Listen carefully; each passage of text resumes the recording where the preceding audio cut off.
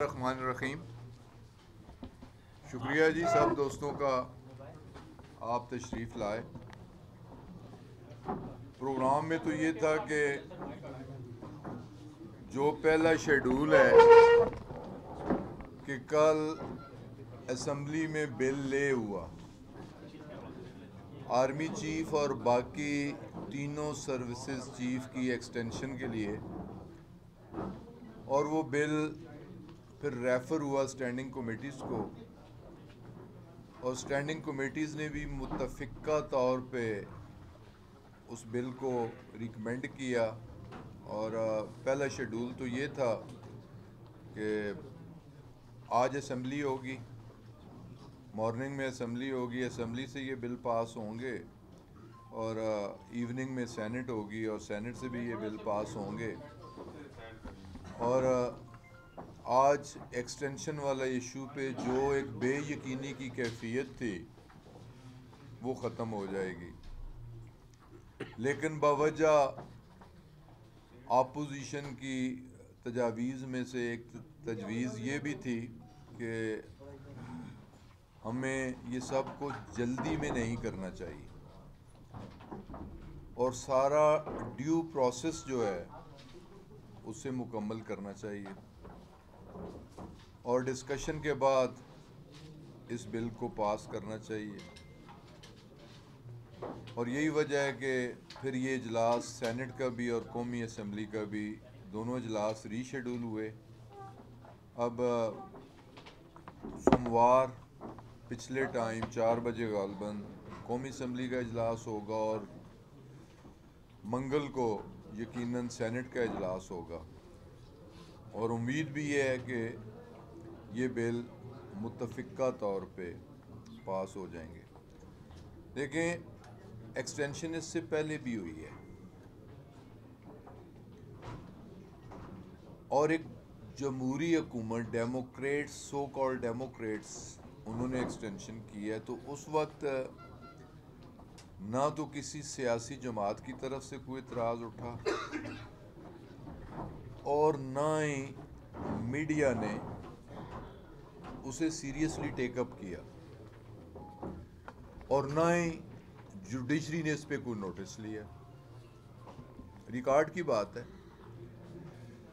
ٹھیک ہے، میں یہ نہیں کہہ رہا کہ انہوں نے غلط کی۔ ان کی سوابدید تھی۔ اس وقت کی حکومت، اس وقت کے وزیر اعظم کے اختیارات میں یہ چیز شامل تھی۔ ان کی سوابدید تھی اور اس وقت کی صورتحال پہ انہوں نے ایکسٹینشن کی اور تمام انسٹیٹیوشنز نے اس ایکسٹینشن کو دلی طور پہ، ذہنی طور پہ قبول کیا اور اس پہ عمل درآمد ہوا، ایک اچھی بات۔ لیکن آج کی صورتحال اس سے کہیں زیادہ گمبھیر ہے۔ چار دن پہلے انڈین آرمی چیف کا جب نوٹیفکیشن ہوا، تو سب سے پہلے اس نے پاکستان کو للکارا۔ ان چیزوں کو نظر انداز نہیں کرنا چاہیے۔ یہ بڑے سیریس تھریٹ ہیں ہمیں انڈیا کی طرف سے۔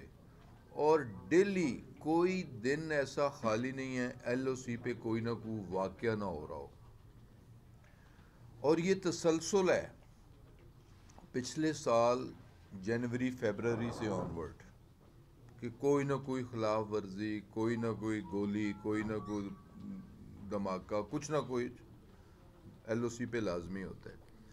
اور اس ریجن میں بہت بڑا واقعہ جو کہ ایک ایرانی جرنیل کو بغداد کے اندر ڈرون اٹیک کے ساتھ شہید، میں شہید کہوں گا کہ ایک مسلمان کی شہادت، مسلمان جرنیل کی شہادت۔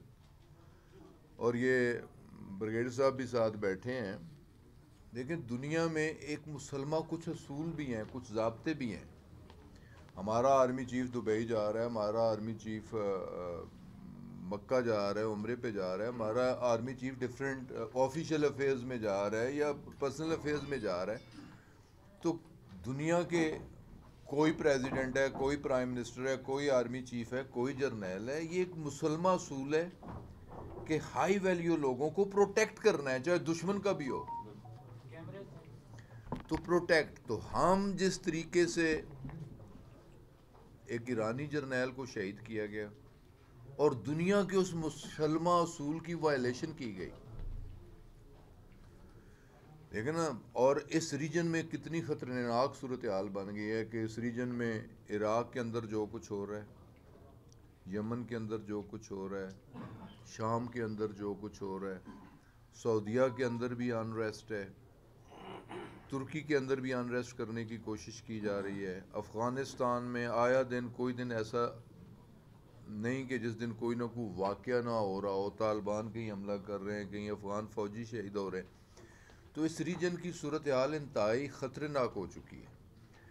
تو اس میں اصولاً تمام انسٹیٹیوشنس کو، جس طرح پریویسلی ہوا، وہی قوانین تھے۔ لیکن اس کے باوجود سپریم کورٹ کی ایک ڈائریکشن تھی۔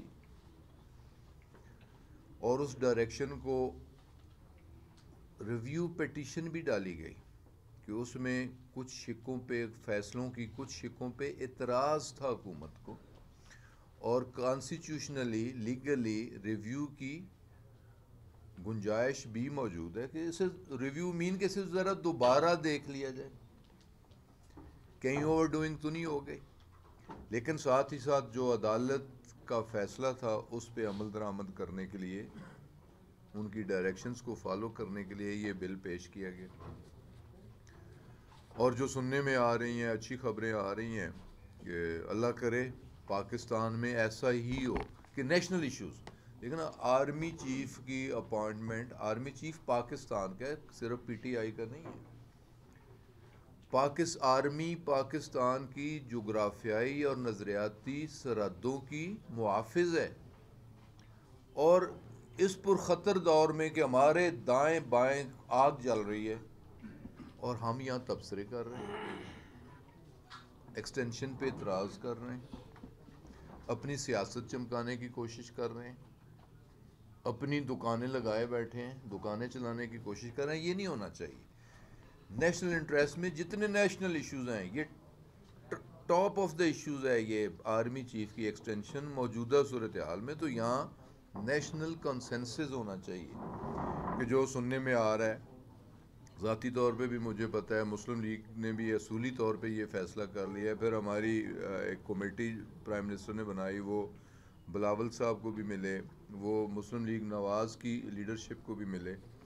تو بڑی جماعتیں آن بورڈ ہیں۔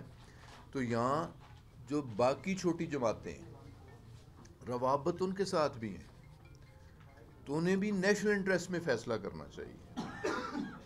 جس طرح جمعیت علماء اسلام کی طرف سے دیکھیں نا مولانا نے پہلے کشمیر کاز کو اور پاکستان کے سٹانس کو بڑا نقصان پہنچایا ان کے دھرنے نے۔ کو مانے یا نہ مانے، میں تو پھر کہوں گا، دہراؤں گا اس بات کو کہ وہ دھرنا بھی سپانسرڈ تھا۔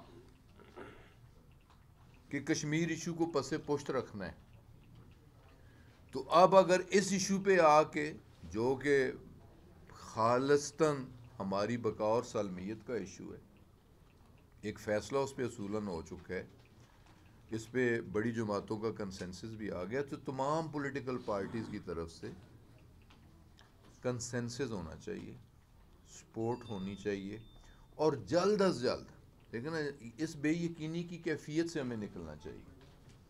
جب تھوڑا ڈیلے ہوتا ہے تو پھر شکوک و شبات جنم لیتے ہیں۔ کہیں یہ نہ ہو جائے، کہیں وہ نہ ہو جائے۔ تو جلد از جلد ہم تو اس حق میں تھے کہ آج ہی سیشن ہو جاتا اور آج ہی دونوں ہاؤسز اس بل کو، جسے، جس کی سفارشات اسٹینڈنگ کمیٹیز نے بھی کی ہیں، اسے پاس کر دیتے تاکہ یہ ایشو سیٹل ہو جاتا۔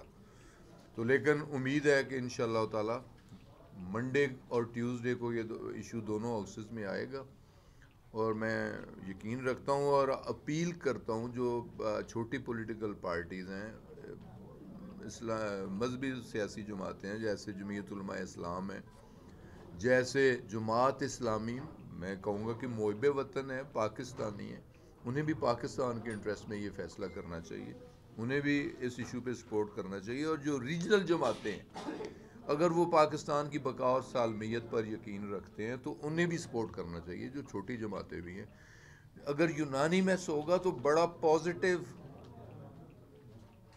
میسج جائے گا پاکستان کے مخالفین کو کہ اس ایکسٹینشن کے پیچھے یا اپنی فوج کے ساتھ پوری قوم کھڑی ہے، تمام پولیٹیکل پارٹیز کھڑی ہیں۔ تو ہمیں ایک پازیٹیو میسج بھی دینا چاہیے۔ تو یہ میری کرنٹ سچویشن پہ یہی میری گزارشات تھیں۔ اسی کے ریلیٹڈ اگر کسی دوست کے ذہن میں کچھ سوال ہو۔ سر یہ بتائیے گا کہ امریکہ کی جانب سے جو ان کی جو پروازیں ہیں اس کے حوالے سے تاوزات کا اظہار کیا گیا؟ پاکستان میں ان کو کہا گیا کہ وہ اس سلسلے میں احتیاط کریں جبکہ ان کے باشندے جو ہیں ان کو نقل حرکت کے حوالے سے بھی کہا گیا۔ وہ کیا کہتے ہیں اس بارے سے دیکھیں جی امریکہ نے جو کیا اس پہ پھر ریٹیلیشن کا اندیشہ تو ہے۔ ایرانی گورنمنٹ نے، ایرانی قوم نے یہ کہا کہ ہم بدلہ لیں گے۔ تو بدلہ پھر یہی وجہ ہے کہ امریکہ نے اس خطے میں اپنے جتنے سفارت خانے ہیں، ان کی سرگرمیاں بھی محدود محدود کر دی ہیں۔ اور اس خطے میں آنے والے جتنے امریکنز ہیں، انہیں انہیں سفر سے کرنے سے بھی منع کر دی ہے۔ تو یہی وجہ ہے۔ اور پھر اسی پہ لگتا یہی ہے۔ اور اسی پہ امریکن وزیر خارجہ نے ہمارے آرمی چیف سے بھی بات کی ہے کہ آپ ایران کو کہیں کہ وہ ریٹیلیٹ نہ کریں خیال ہے کہ ہمیں اب سفارش کے طور پہ پہلے پنگا لے لیا۔ اب ہمیں کہا جا رہا ہے کہ آپ ایرانیز کو کہیں کہ وہ اس میں ریٹیلیٹ نہ کریں۔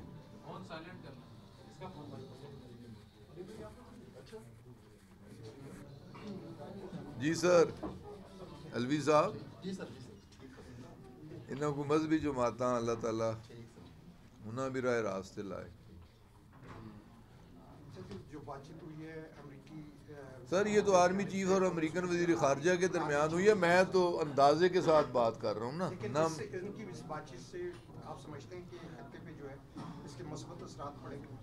لیکن امریکن وزیر خارجہ نے اگر ہمارے آرمی چیف کو فون کیا ہے تو خیال کیا جا سکتا ہے نا کسی پازیٹیو یہ تو نہیں ہو سکتا کہ وہ ہمیں کہیں کہ آپ ایران کے خلاف ہمارا ساتھ دیں، یہ تو ہو نہیں سکتا۔ یقیناً یہ کہا ہوگا جائے کہ انہیں کہیں تھوڑے ٹھنڈے ہو جائیں۔ جو ریٹیلیشن کی بدلے کی بات کرتے ہیں وہ بدلے کی بات نہ کریں۔ اور ساتھ یہ بھی کہہ دیا ہوگا کہ اگر انہوں بدلا کے داتے اسی پھر بدلہ لیوا گے تو پھر گل اگے چلے گی۔ بھائی اس اس صورتحال نہ تھوڑا ٹھنڈا کرنا سے میرا خیال ہے میرا خیال ہے صورتحال نہ تھوڑا ٹھنڈا کرنا سے ساڑھے آرمی چیف ریکویسٹ کیتی ہوئے گی امریکن وزیر معاملات میں حکومت کے ساتھ بھی ہوتے دیگر دیکھا گیا۔ پاکستان کا جو ہے ایک بڑا کلوز تعلق ہے سعودی عرب سے بھی۔ تو دوسری جانب ایران ہے۔ تو آپ کو لگتا ہے کہ پاکستان اتنا طاقت کا رول پلے کر سکے گا کہ وہ اسلام نے کہا کہ ٹھنڈے کرنے میں کامیاب ہو جائے گا ایران؟ دیکھیں جی پاکستان کا ہمیشہ پازیٹیو رول رہا ہے اس ریجن میں۔ اور ہمیشہ مثبت رول ادا کرنے کی کوشش بھی کی ہے کہ جو ٹینشن ہے بٹوین سعودی عربیہ اور ایران۔ ہمیشہ میڈیشن کا رول ادا کرنے کی بھی کوشش کی ہے پاکستان نے between Saudi Arabia and Iran اور اس کی وجہ ایک تو دونوں ہمارے برادر اسلامی ملک ہیں اور اگر ان دونوں کے درمیان کوئی ٹینشن ہوتی ہے تو پورے خطے میں ٹینشن ہوتی ہے۔ تو اس ریجن کو، اس خطے کو پرامن رکھنے کے لیے پاکستان نے ہمیشہ پازیٹیو رول پہلے بھی ادا کیا اور آئندہ بھی ادا کرتا رہے۔ اچھا صاحب یہ بتائیے کہ نواز شریف کی طرف سے جو خط لکھا گیا، رانا اسلام کو بل کے لیے کہ یہ بل چوبیس گھنٹے میں پاس نہیں ہونا چاہیے اور پارلیمنٹ کو جو ہے وہ ربڑ نہیں بننے دیں گے۔ کیا سمجھتے ہیں کب تک یہ بل جو ہے پاس ہو جائے گا؟ جیسے میرے بھائی، میں نے کہا کہ دیکھیں، کوئی بل جب اسمبلی میں لے ہوتا ہے، اس پہ ہر ممبر کو یہ رائٹ ضرور ہے کہ وہ بات کر سکتا ہے یا اپنی تجویز دے سکتا ہے۔ اگر کوئی نہیں دیتا تو یہ بھی پارلیمانی پریکٹسز میں موجود ہے کہ وہ بل ایز اٹ از ہی ٹیک اپ ہو جاتا ہے اور پاس ہو جاتا ہے۔ بل لے ہوا۔ یہ پارلیمانی پریکٹس میں ضرور ہے کہ بل کو سٹینڈنگ کمیٹی بھی دیکھے۔ سٹینڈنگ کمیٹیز میں، تمام سٹینڈنگ کمیٹیز میں اپوزیشن کی بھی ریپرزنٹیشن موجود ہوتی ہے۔ تمام پولیٹیکل پارٹیز کی ریپرزنٹیشن موجود ہوتی ہے۔ وہ اس کی نوک پلک، کو سجیشن کو تجویز، کو ترمیم جو بھی کرنا چاہیں سٹینڈنگ کمیٹی بھی ایک فورم ہے۔ اور سٹینڈنگ کمیٹی میں بھی اس بل کو ایز اٹ از جیسے سٹینڈنگ کمیٹی کو ریفر ہوا، اس میں پاکستان پیپلز پارٹی کی نمائندگی بھی تھی اور پاکستان مسلم لیگ نواز کی بھی اور باقی اپوزیشن جماعتوں کی بھی نمائندگی اس سٹینڈنگ کمیٹی میں تھی۔ انہوں نے متفقہ طور پہ پاس کر دیا۔ اب وہی بل متفقہ طور پہ جو اسٹینڈنگ کمیٹی نے پاس کیا ہے، اپنی سفارشات کے ساتھ سوموار کو اسمبلی میں آئے گا۔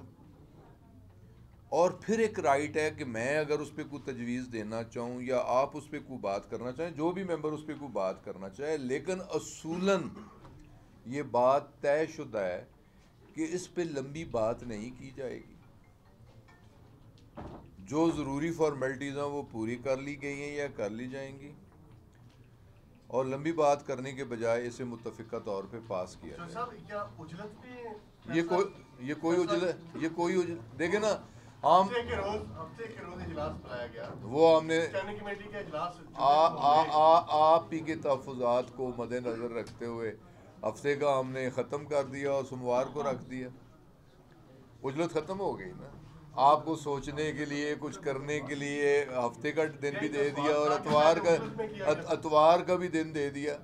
دیکھیں نا؟ یہ اجلت ہی ختم کرنے کے لیے کہ جو خدشات یا تحفظات اگر کسی کے ہیں تو وہ ختم کر دیے گئے۔ اب کوئی اجلت نہیں ہے۔ روٹین میں اجلاس پہلے کا کال ہوا ہے۔ منڈے روٹین کا اجلاس ہونا ہے۔ منڈے کو اس کی ریکمنڈیشن آ جانی ہے۔ منڈے پھر جو ہے پارلیمنٹ کا رائٹ ہے، وہ اسے کس طریقے سے ٹیک اپ کرتے ہیں خان صاحب یہ نیب لا اور ایکسٹینشن کے حوالے سے حکومت اور اپوزیشن میں جو برج بنا ہے اس کو جاری رکھنے کے لیے پاکستان تحریک انصاف کی حکومت کیا اقدامات تاکہ یہ کنڈیشن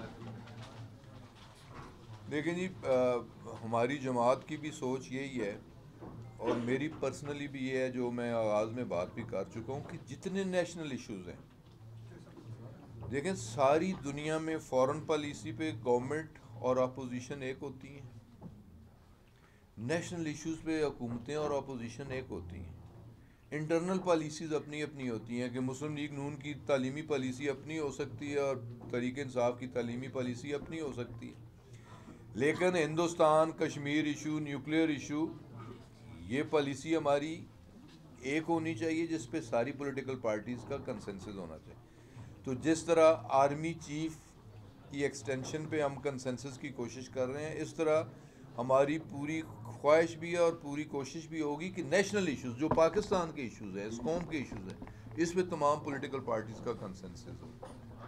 سر یہ بتائیے گا کہ نیب آرڈیننس کے حوالے سے خاصی شنید ہوئی اور کافی باتیں سامنے ہوئی ہیں۔ اس پہ خاصے تحفظات پائے گئے اپوزیشن کے بھی اور دیگر جماعتوں کے بھی اس کے حوالے سے کیا دیکھیں جی اس پہ تحفظات میرے بھی تھے ذاتی طور پہ لیکن ایک جب ڈسکشن ہوتی ہے، ایک فورم ہے کیبنٹ میں ڈسکشن ہوتی ہے، پھر کیبنٹ کا ایک ڈیسیجن ہوتا ہے میجورٹی سے ہوتا ہے کنسنسس سے ہوتا ہے، پھر اس ڈیسیجن کی امپلیمنٹیشن کے لیے ہم سب ایک ہوتے ہیں۔ دیکھیں جی اس کی امینڈمنٹ تو اپوزیشن بھی کرنا چاہ رہی تھی۔ لیکن وہ خود باوجہ خود ہی بتا سکتے ہیں، دونوں کے پاس پانچ سال پیپلز پارٹی نے بھی اپنا ٹینیور پورا کیا، پانچ سال مسلم لیگ نے بھی اپنا ٹینیور تحفظات ان کے بھی تھے۔ تحفظات کا اظہار بھی کرتے تھے۔ لیکن ان تحفظات کو ایڈریس کرنے کے لیے ان کے پاس فورم موجود تھا، انہوں نے ایکشن کوئی نہیں کیا، فیصلہ کوئی نہیں کیا۔ لیکن ان اپوزیشن جماعتوں کے تحفظات کو بھی مد نظر رکھتے ہوئے اور دو بڑی کمیونٹیز جس میں